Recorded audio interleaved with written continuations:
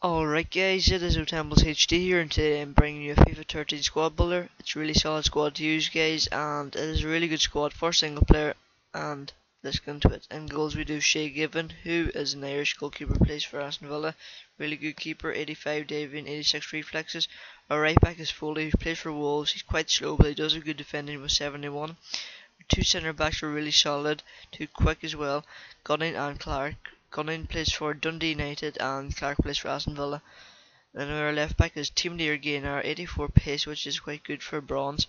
And he's just a really all round solid left back for bronze. So, anyway, our two CDMs are McCartney, who plays for Wigan Athletic, and he's Irish, an whole Irish team, and Glenn Whelan, who plays for Stoke City, who is quite slow, but he does a good passing. And he, uh, for, for 67, saying that, he actually really does have a good shot and there's two centre attacking midfielders are Hula Hoolahan and Ireland, two really good players. They are not so great in real life, but in FIFA they actually have really good dribbling.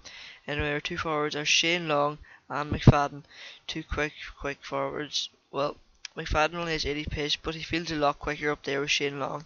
Shane Long actually has 88 pace, and they're two really all good road forwards. So, anyway, guys, if you did enjoy the squad builder, please leave a like and stay tuned for more squad builders. Peace.